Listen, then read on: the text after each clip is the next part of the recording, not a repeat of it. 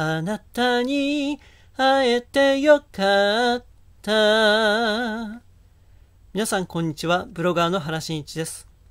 今回はアメリカのテレビ局 OAN ワンアメリカニュースネットワークが4月4日に取り上げた米国上院軍事委員会の公聴会での米国高官による証言をお届けします。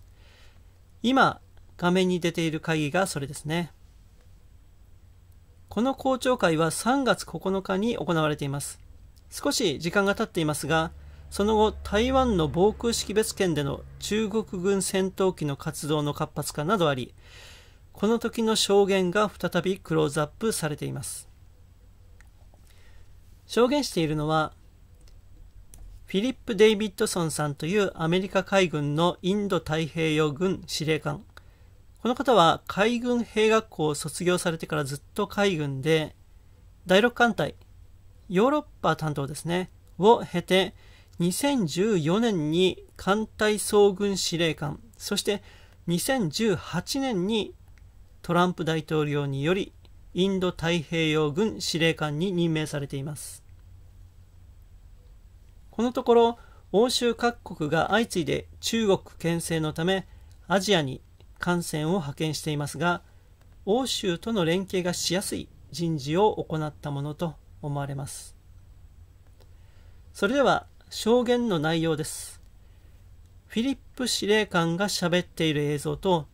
ナレーターが要約して代弁している箇所が交錯するんですけども、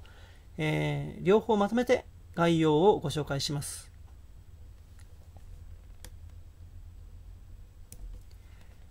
軍の分析では中国が台湾を併合する計画を予想より早く実行するかもしれません。今から2026年までの期間に中国が戦闘能力において優位に立ちこの地域の現状を軍事的に変える選択をする可能性があります中国は台湾の防空識別圏に3月後半に活動を常態化させる目的でジェット機を飛ばしましたそして台湾国防部によれば自国の航空機は中国の軍事作戦に対応する用意ができていませんペンタゴンのシミュレーションでは米国と台湾が勝利するのは非常に難しいことが示されています。ペンタゴンの専門家は中国は米国の介入に最初から備えると信じており沖縄とグアムの米軍基地に並行して航空攻撃を行うだろうとしています。ここで、えー、沖縄の嘉手納基地の写真が写ります。中国軍は昨年の秋にプロパガンダビデオを公開しそれは広く拡散されています。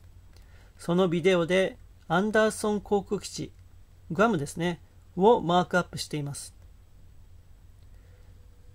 そしてここで PLA、えー、人民解放軍のプロパガンダビデオが紹介されます。このようにミサイルで基地を破壊する映像が流れます。このような力を持っていますよっていうことことですね。その力を誇示しています。米軍は攻撃を防御するのにパトリオットミサイルシステムを使うことができますが中国のミサイルの数は米軍の能力を上回ります。中国の第一目標は中国軍を上陸させるためのボートと車両に攻撃を与えうる台湾水域の合衆国の潜水艦でしょうしかしながらたった25隻の潜水艦に対し中国軍の車両の保有数と大量の電磁波による手段は潜水艦をほとんど無力化するでしょう。そしてここで、えー、台湾国防部の会見の映像が流れます。中国は、えー、赤い線ですね。これを自分の排他的経済水域と主張しており、ここを実行支配する動きが進行中であるということですね。えー、ちょっとここでですね、地図の中に日本の島の名称も四角で囲って出てきていますので、その部分を拡大してみます。えー、薄くなってしまうんですけども、下の方に、えー、日本という緑の文字が見えて、これは与那国ですね。上の方に青い文字で、魚釣りという文字が見えます。尖閣ですね。えー、尖閣が取られてしまうと、この赤い線が目の前に迫ってくるというわけですね。台湾としても死活問題ということになっています。中国にとっての主なリスクは、米国による核使用の可能性です。多くの人が中国が行動するのをとどめているメインファクターであると信じています。しかしながら、アメリカと台湾の合同軍で中国からの防衛を成功させられるかは疑問。台湾の防衛を成功させるためには、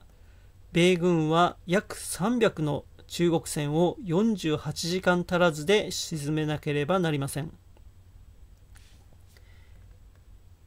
以上がフィリップ司令官の証言を OAN がまとめた報道です。えー、いつもと系統が違うテーマでしたが、トランプ大統領が任命した司令官がこうして議員さんたちにレクチャーして頑張ってくれているということをお伝えできればと思いました。それでは今回は以上です。寝ても覚めてもトランプジャンプどうぞ今日も良き一日をチャンネル登録もよろしくお願いします。See you!